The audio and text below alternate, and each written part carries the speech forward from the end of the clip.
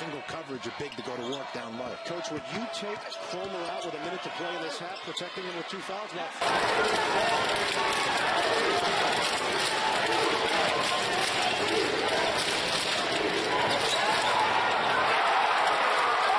that won't go. Final minute 20. And he's Tennessee State down 14. Cromer trying.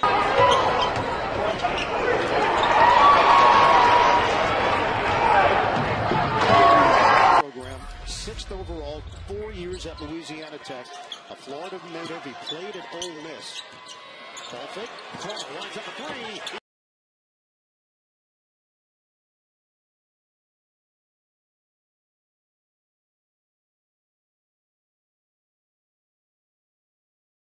The rebound for Cromer. Maybe a force there. The whole possession was a force. Cromer all the way. way. Bradford has been a big part of this 9-0 run.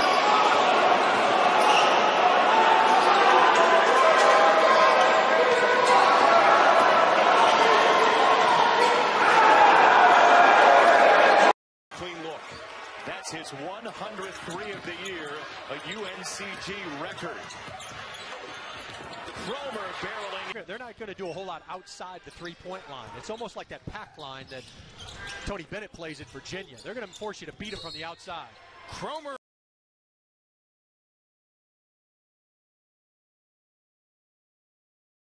And Florida is pulling away. Cromer, the jump shot. He sticks it.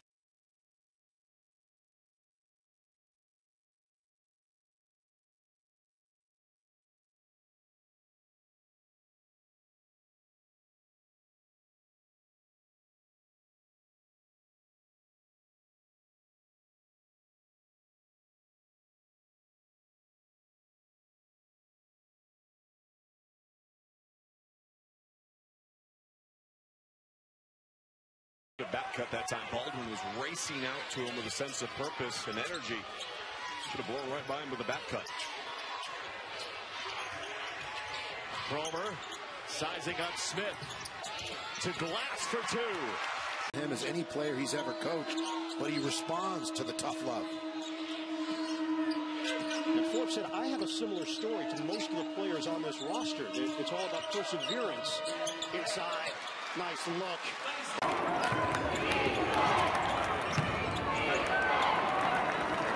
Been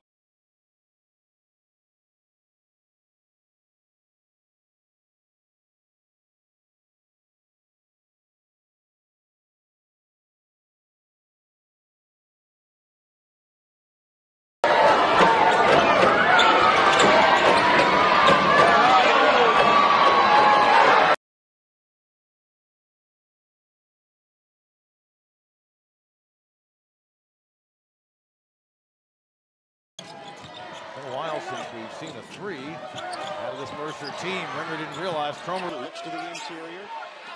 Seven to shoot. High screen. Chioza uses it. Lobs it up. Knocked away. That was Cromer. an NFL training camp. And now with the basketball facility to match it, they'll be right there with anyone at this level in the country. And Cromer with a nice job to come up with a story.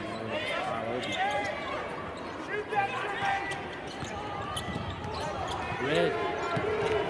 Red.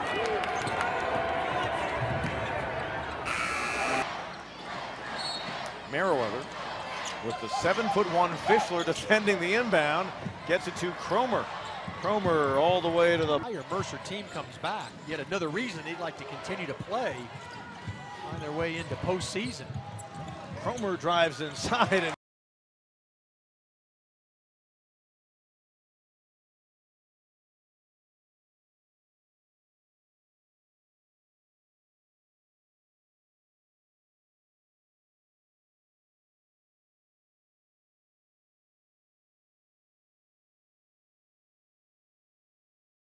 He feels a part of what's happening offensively. East Tennessee State making its first NCAA tournament appearance since 2010. Lost to Kentucky that year, 100 to 71.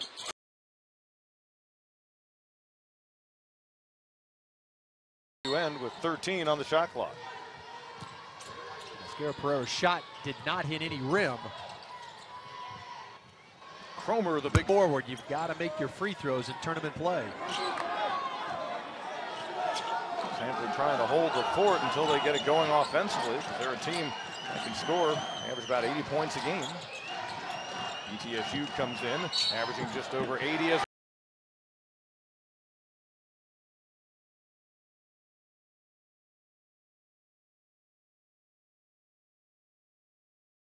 Timeout to use, but they'll just go ahead and simply try to play for a final shot. Cromer way.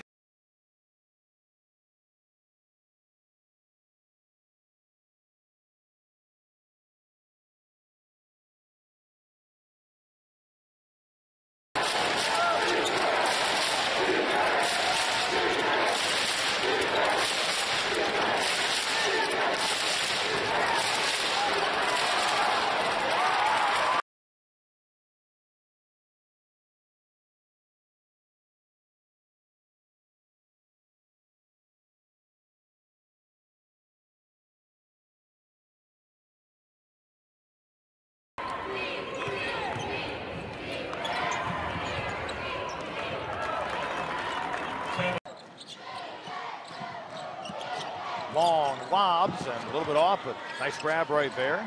Shot clock didn't reset. Here's Cromer. Rotations defensively for the Buccaneers in the second half.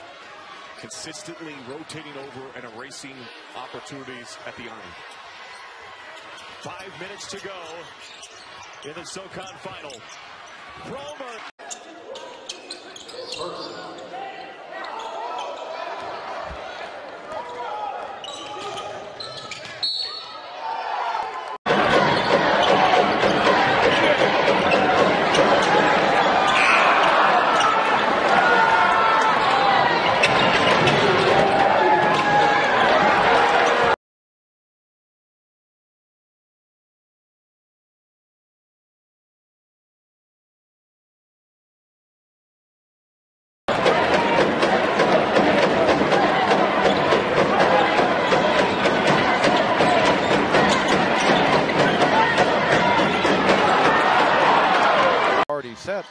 With Wofford and UNCG, the Samford Bulldogs, one of the teams that's gotten two wins and well, the only team that's won two games in the tournament so far. And one of the upsets.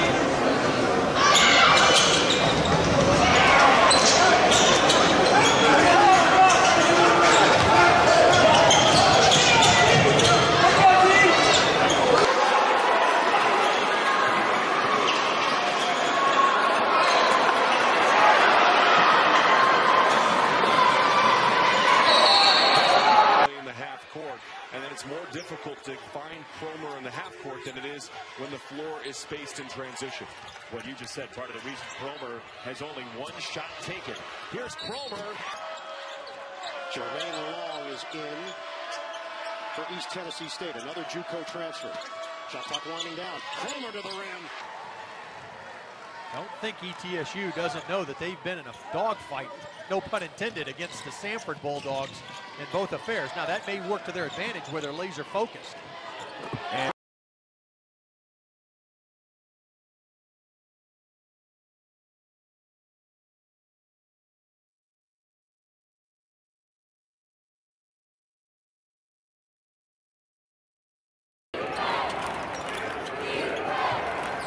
Oh yeah. Nice.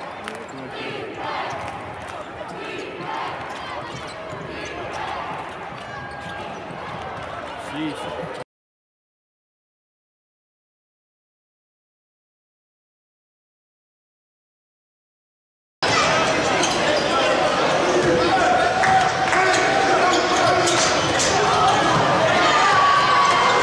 The first half didn't seem to do too much damage. That could be a storyline if that happens in the second half with the way the Terriers shoot. Look at the feed to Long and Jermaine Long.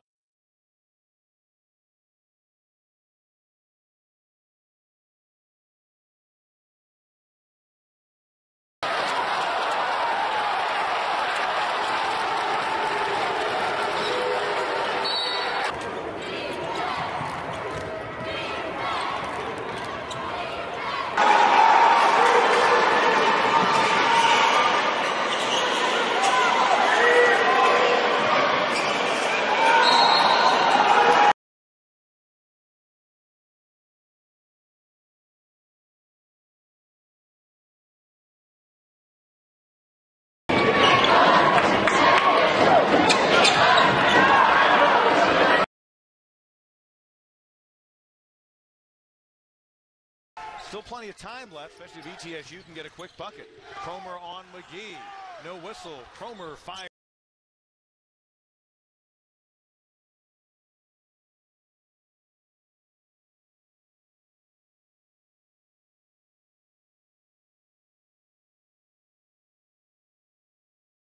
so close and think they could have won both games. Two point loss in regulation, then an overtime loss. And that one's going to go for